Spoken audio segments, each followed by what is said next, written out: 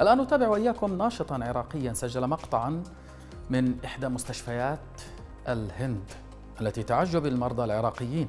ويتساءل هذا الشاب مصور الفيديو يتساءل عن إهمال الحكومة الحالية للاستثمار في بناء المستشفيات وأنها تتعمد تدمير القطاع الصحي. الأمر الذي يدفع المواطنين إلى السفر للخارج بحثا عن العلاج الأفضل. إحنا ليش ما نقدر نبني لنا مستشفى مثل هاي المستشفى؟ إذا ما كانت أهلية كان قطاع مشترك بين الحكومة وبين أحد التجار، أحد المستثمرين. ونبني ليش قاعد يجون العراقيين؟ تدرون العراقيين أهل البصرة خليني اتكلم، أهل البصرة قاعد يجون بهذا المكان سفر وتعب وفلوس قاعد نذب أهل البصرة يذبون تقريبا أقل شيء يذبون مليون دولار اسبوعيا. الطيارات تنقل وتجيب هنا. ليش؟ لأن عندنا إدارات فاسدة وعندنا مستشفيات بائسة.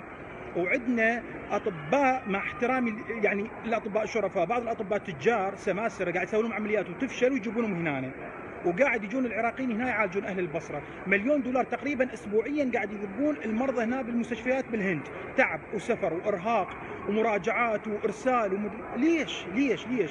خب أسوي نفس هذه المستشفى copy paste نفس المستشفى، هاي المستشفى أجيبها أجيبها بالبصرة وأجيب كوادر هندية وانتهى الموضوع. ليش هاي الأموال العراقية قاعد تجي هنا وليش المرضى العراقيين أختي قاعد يجون هنا؟ ظلوا على مستشفياتكم. التعبانة الفاشلة. ظلوا على التعليمي وظلوا على الفيحاء وظلوا على الجمهوري. هاي بقت. ويسوون لنا مستشفيات مال اوادم ثانية بفلوس العراقيين قاعد مثل ما قاعد يجون هنا الأطباء الهنديين يجيبون هناك. ويسوون لكم مستشفى مثل هاي المستشفى. طوابقها والله كأنها منتجع سياحي ولا كأنها مستشفى. منتجع سياحي. هسه أنا قاعد أختار وشفت هواي عراقيين هنا. والله العظيم أكو بعضهم حتى فلوسهم خلصت. فلوسهم خلصت بهاي يعني يعني هو جايب فلوس على قد العملية لكن المريض ماله ظل بالانعاش وتتراكم عليه فلوس لازم يدفع.